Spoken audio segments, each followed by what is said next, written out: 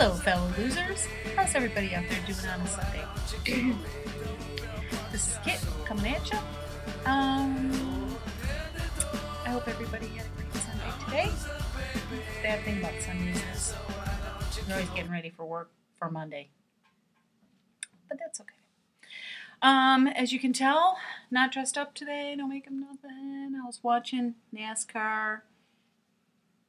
Kurt Busch, Kyle Busch fan. I got both Busch boys signatures on one hat. Anyway, I know you you guys don't care about that. Um, my results this morning on VLCD number 35, but uh, I was down 0.2, so that's good because it's a release. Another chunk over the cliff. Thanks, Lotta Maryland. That's a great, great vision. I like that a lot. Um, for a total of 22 pounds released, VLCD number 35. So that's pretty good. I'm liking that quite a bit.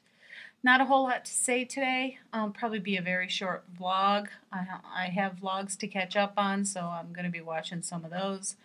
Um, went to a uh, different place to eat we went grocery shopping at Whole Foods and had dinner at Whole Foods, and they had uh, a grilled chicken breast, no olive oil, nothing. I had, you know, they put the ingredients on everything, even you know, in their their what do you call it, deli case, or where they have all those salads and meats and stuff.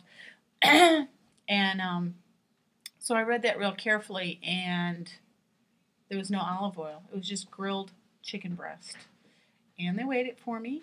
And oh, hi, honey. And um, you know they have a salad bar, so I got uh, spinach and mixed, you know, lettuces, and I put maybe three grape tomatoes on it, and because um, I've been able to mix my vegetables, um, some onions. Uh, they had uh, slivered radishes, so I put some radishes on there. and um, got the chicken breast and put plain balsamic vinegar on it. So I'm praying that there wasn't any sugar in the balsamic vinegar. But um, hopefully I'll be okay for tomorrow. Anyway, that was great. I really enjoyed that. And um, water for all of you. Be sure and drink your water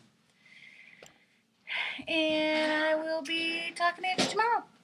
Thanks, everybody. Take care, all you losers.